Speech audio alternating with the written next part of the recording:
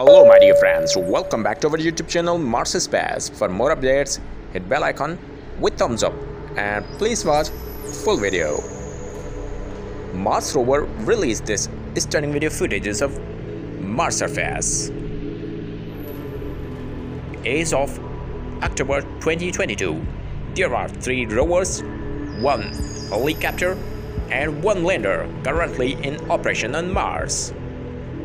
The red planet is tantalizing for many reasons. Its history is similar to Earth's. Gravity on Mars is 38%, thirds of Earth's. Adequate for humans to adapt to and it has a protective, although thin atmosphere.